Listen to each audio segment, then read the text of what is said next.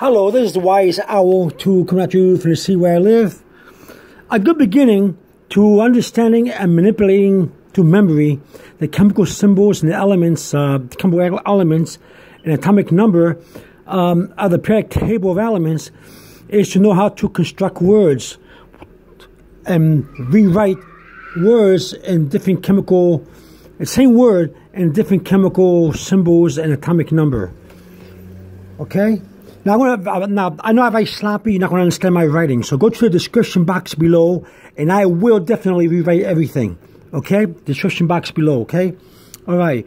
When you're attempting to find uh, uh, the words, for example, taco, T-A-C-O-S, can be written in three different ways.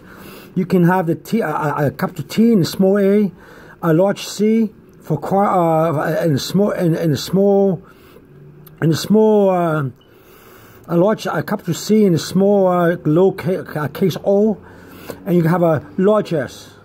For example, tantalum is 73 atomic number. CO is uh, cobalt, that's 27, and S, a capital S, is 16. Remember, when using two letters like uh, cobalt, the first letter is capitalized and the next one is uh, the, the, the O is a small case. Don't capitalize the O at all unless you unless you mean to do it. But see, you got taco. But then again, tacos tacos is written again in a different way.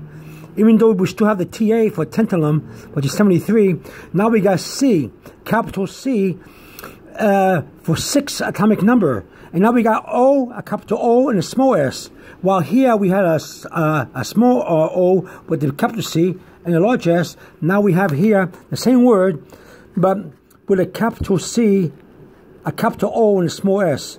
Now, C is carbon, that's 6. So the C is no longer CO 27, now it's C6. And then you have a capital O and an S for osmium. Osmium is uh, the atomic number of 76. Here again, we got the same word taco, written in a different way. See? TA for, um, for tantalum, and um, we got C for carbon, which is 6, atomic number.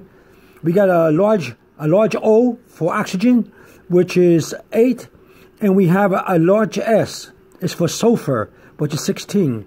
See that? They're all written the same way, but with different, uh, but they're being rearranged in different different chemical symbols and different uh, atomic numbers. You see what I'm saying to you?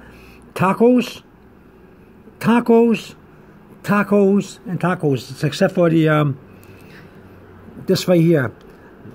Okay? Now, do, I have a homework for you. If you want to study this, do the same thing. Take the word clubhouse. Club, house, and rewrite it in many ways. You see how many chemical symbols and atomic numbers you can come up with. Okay? The same word in different ways. Okay? Alright? This is Wise Owl 2 coming at you from the sea where I live. Over and out.